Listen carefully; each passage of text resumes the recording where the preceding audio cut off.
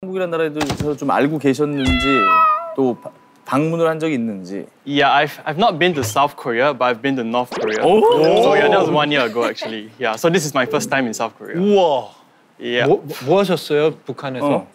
Uh, a lot of the things were like very curated. So we went there to celebrate uh, Kim Jong Il's birthday. So Wow. Kim Jong Il is the second guy, uh, but he died already. And then Right. so he created this like uh, there was this anniversary celebrating his birthday. Uh, there was this oh that red color flower. Uh, it's called Kim Jong Ilia, and then it's specially breeded such that uh, it's specially breeded such that it will bloom on the day of Kim Jong Il's birthday.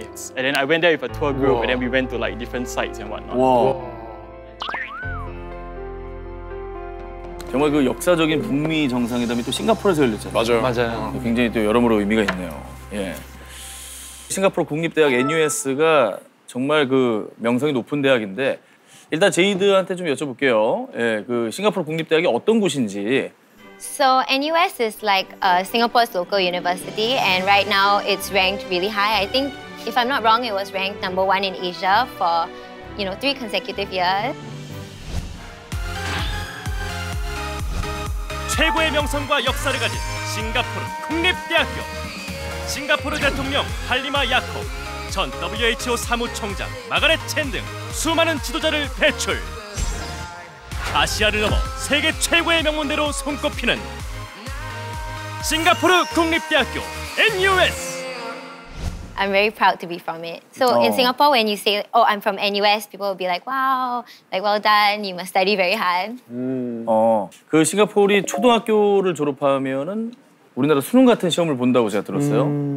Um, so it's called the Primary School Leaving Examination or PSLE. Those grades determine like whether you can go into like the better schools or if you if you didn't do so well, then you might have to apply to um, other choices of schools in, for secondary school.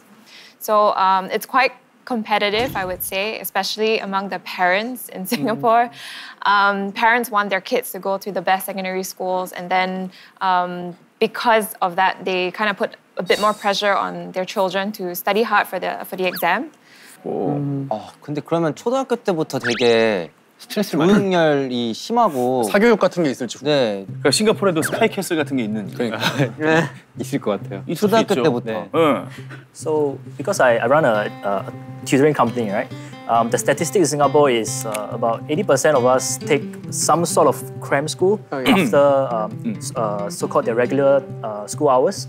그 이렇게 다 학원이나 과외, 사교육 같은 거 다 다 받으셨나요? 어, 네탈리는 어? No, I didn't. I didn't go for tutoring. 어? 여기도 있네. 싱가포르에. 난 교과서만 봤어요. 국영수 위주로. 사교육을 안 받고 어떻게 그렇게 believe that I could manage the studying on my own if Whoa. you kind of like prioritize and you know you practice and you know how to like study. I realized that that discipline really helped in university because there's no such thing as like uh, tutoring in, in university, right? So yeah. 나머지 친구들이 조금 애매하겠는데요. 네. 나는 내가 알아서 했는데. 너무 완벽한데요. 예.